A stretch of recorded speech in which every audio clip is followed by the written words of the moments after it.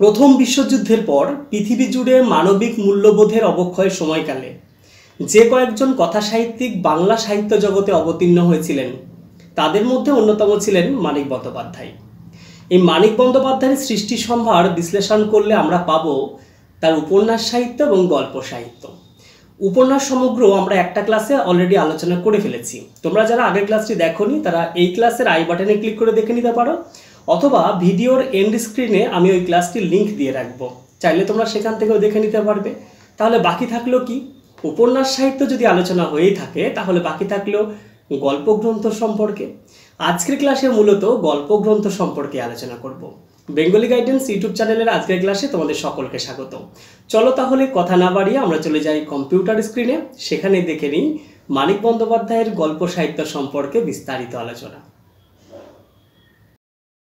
এই চ্যানেলের প্রতিটা ক্লাস অর্থনৈতিকভাবে পিছিয়ে থাকা ও অর্থের অভাবে ভালো কোচিং নিতে না পারা ছাত্রছাত্রী ও সতীর্থদের জন্য, যা কোনো রকম অর্থনৈতিক লেনদেন ছাড়াই তুলে ধরা হয়।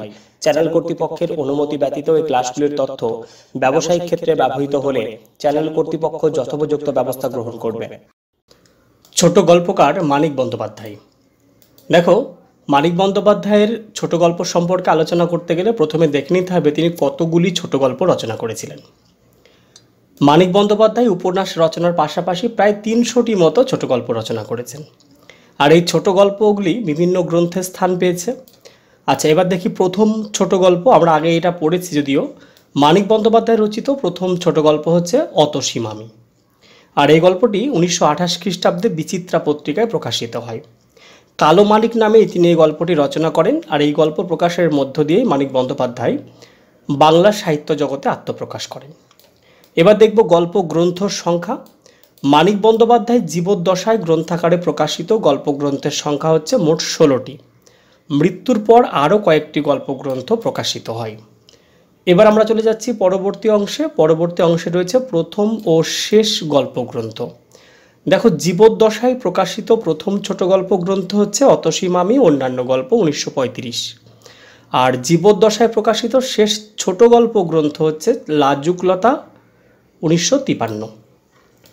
জীবদ্দশায় প্রকাশিত শেষ ছোট গল্প সংকলন গ্রন্থ, মানিক বন্দ্যোপাধ্যায়ের নির্বাচিত গল্প, উনিশশো ছাপান্ন।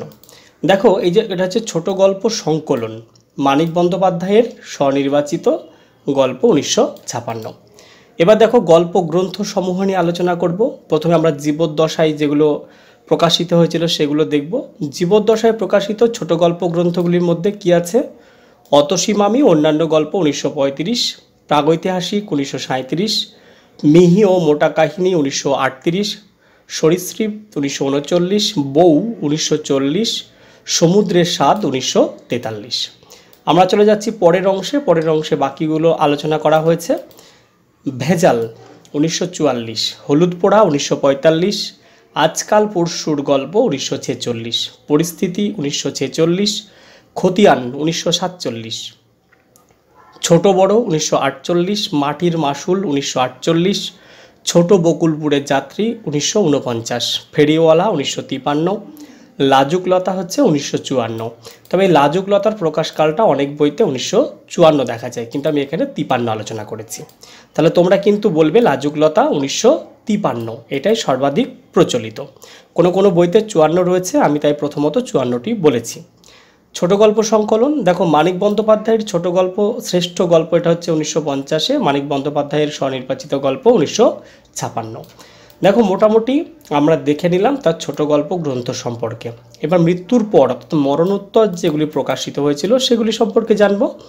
মানিক বন্দ্যোপাধ্যায়ের গল্প সংগ্রহ উনিশশো সাতান্ন, উত্তরকালের গল্প সংগ্রহ উনিশশো তেষট্টি, মানিক বন্দ্যোপাধ্যায়ের শ্রেষ্ঠ গল্প উনিশশো পঁয়ষট্টি, মানিক বন্দ্যোপাধ্যায়ের বাছাই গল্প উনিশশো একাশি। দেখো, এইটুকু জানলেই মোটামুটি হয়ে যেত। কিন্তু অনেকেই তোমরা প্রশ্ন করো, দাদা, একটু ডিটেলসে দিলে ভালো হতো। এটা কি হবে বা ওই ধরনের কি হতে পারে?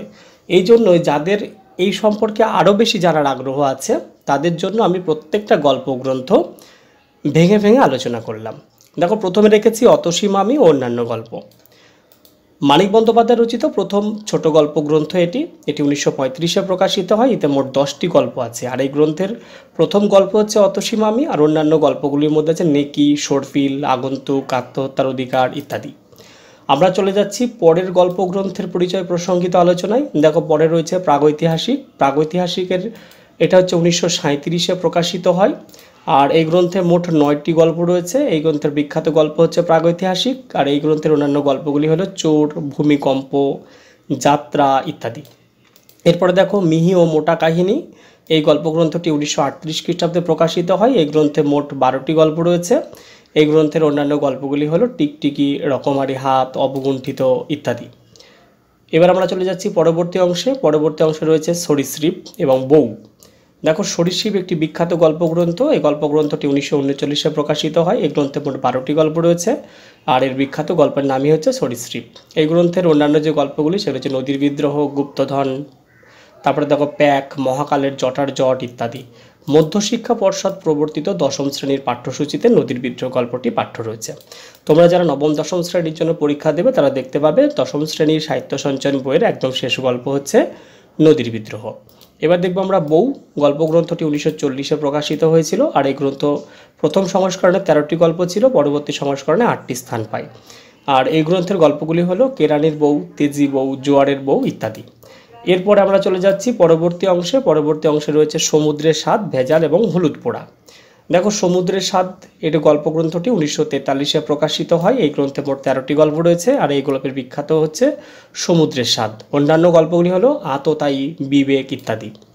ভেজাল বা ভেজাল গল্পগ্রন্থটি উনিশশো চুয়াল্লিশ খ্রিস্টাব্দে প্রকাশিত হয়। এই গ্রন্থে মোট এগারোটি গল্প রয়েছে। এই গ্রন্থের গল্পগুলি হলো ভয়ঙ্কর, দিশাহারা, স্বামী স্ত্রী, যে বাঁচায় ইত্যাদি। হলুদ পোড়া, দেখো, এই গল্পগ্রন্থটি উনিশশো পঁয়তাল্লিশ খ্রিস্টাব্দে প্রকাশিত হয়। এই গ্রন্থে মোট দশটি গল্প রয়েছে। এই গ্রন্থের গল্পগুলি হলো হলুদ পড়া, জন্মের ইতিহাস, ভাঙা ঘর ইত্যাদি। এবার আমরা চলে যাচ্ছি পরবর্তী অংশে। পরবর্তী অংশে রয়েছে পরিস্থিতি এবং আজকাল পরশুর গল্প। দেখো, পরিস্থিতি গল্প গ্রন্থটি উনিশশো ছেচল্লিশ খ্রিস্টাব্দে প্রকাশিত হয়। এই গ্রন্থের বিখ্যাত গল্প হচ্ছে শিল্পী, মন্নন্তরের প্রেক্ষাপটে লেখা হয়েছিল শিল্পী গল্পটি। এই গ্রন্থের অন্যান্য বিখ্যাত গল্পগুলি হলো প্যানিক, অমানসিক মাসি পিসি ইত্যাদি। আজকাল পরশুর গল্প, গল্পগ্রন্থটি উনিশশো ছেচল্লিশে প্রকাশিত হয়। এই গ্রন্থের বিখ্যাত গল্প আজকাল পরশুর গল্প। এই গ্রন্থের অন্যান্য গল্পগুলি হলো দুঃশাসনীয় রাঘব মালাকার, কৃপাময় সামন্ত ইত্যাদি। চোরা কারবারিদের দৌরাত্মের কথা রয়েছে রাঘব মালাকার গল্পে। আর ভারতের রাজনৈতিক অস্থিরতার কথা রয়েছে দুঃশাসনীয় গল্পে। তাহলে আমরা মোটামুটি দেখো এর পরিচয় দেখে নিলাম, এবার আমরা চলে যাচ্ছি পরবর্তী অংশে। পরবর্তী অংশে রয়েছে খতিয়ান ছোট বড়। খতিয়ান গল্পগ্রন্থটি উনিশশো সাতচল্লিশ খ্রিস্টাব্দে প্রকাশিত হয়, এই গল্পের গ্রন্থের সংখ্যা হচ্ছে দশটি মানে গল্পের সংখ্যা দশটি। আর এই গ্রন্থের বিখ্যাত গল্পগুলি হলো খতিয়ান, টিচার, চোরাই, ছাঁটাই রহস্য চিনিয়ে খায়নি কেন ইত্যাদি। এরপরে দেখো ছোট বড় ছোট বড় গল্পগ্রন্থটি উনিশশো আটচল্লিশ খ্রিস্টাব্দে প্রকাশিত হয়। এই গ্রন্থের গল্পের সংখ্যা তেরোটি। এই গ্রন্থের বিখ্যাত গল্পগুলি হলো হারানের নাচ জামাই গায়েন নবআল্পনা ইত্যাদি। হারানের নাচ জামাই গল্পে তেবাগ আন্দোলনের জ্বলন্ত চিত্র ফুটে উঠেছে আর হারানের নাচ জামাই গল্পটিকে রাজনৈতিক গল্পও বলা যায়। এবার আমরা চলে যাচ্ছি একদম পরের অংশে। পরের অংশে রয়েছে মাটির মাসুল ছোট বকুলপুরের যাত্রী। এই দুটি গল্পগ্রন্থের সম্পর্কে পরিচয়। দেখো মাটির মাসুল গল্পগ্রন্থটি উনিশশো আটচল্লিশ খ্রিস্টাব্দে প্রকাশিত হয়েছিল। এই গ্রন্থের গল্পের সংখ্যা হচ্ছে বারোটি। এই গ্রন্থের বিখ্যাত গল্পগুলি হলো মাটির মাসুল ঘর ও ঘরামি, পারিবারিক, পথান্তর ইত্যাদি। আর ছোট বকুলপুরের যাত্রী, এই গল্পগ্রন্থটি উনিশশো উনপঞ্চাশ খ্রিস্টাব্দে প্রকাশিত হয়। এই গ্রন্থের গল্পের সংখ্যা হচ্ছে সাতটি।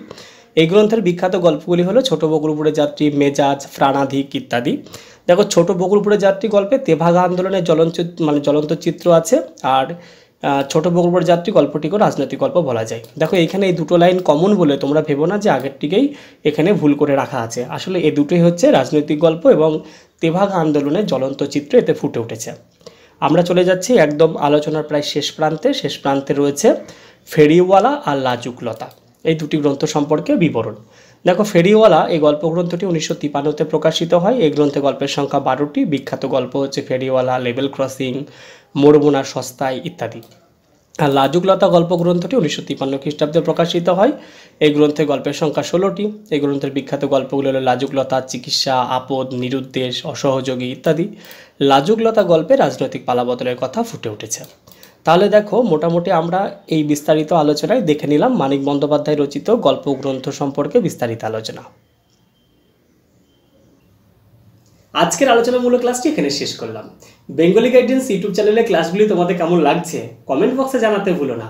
আর হ্যাঁ ক্লাসগুলি যদি ভালো লেগে থাকে, একটা লাইক করে দিও, বন্ধুদের মাঝে শেয়ার করে দিও।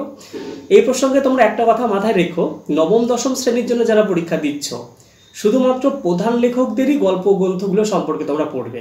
অপ্রধান লেখকদের গল্প গ্রন্থ সম্পর্কে অতটা পড়ার দরকার হবে না। প্রধান লেখক বলতে রবীন্দ্রনাথ, মানিক বন্দ্যোপাধ্যায়, শরৎচন্দ্র চট্টোপাধ্যায় এই রকম অপ্রধানগুলো খুব জোর দিয়ে পড়ার কোনো দরকার নেই। আমি প্রধান প্রধান ক্লাসগুলো অবশ্যই তোমাদের সামনে তুলে ধরব। দেখা হচ্ছে আগামীকাল অন্য কোনো নতুন আলোচনামূলক ক্লাস নিয়ে। ততক্ষণ তোমরা ভালো থাকো, সুস্থ থাকো। তোমাদের এই চ্যানেলকে ভালোবেসে চ্যানেলের সাথে জুটে থাকো।